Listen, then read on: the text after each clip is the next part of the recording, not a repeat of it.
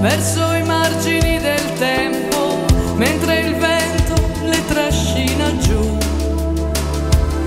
Non danno pace, non hanno sguardi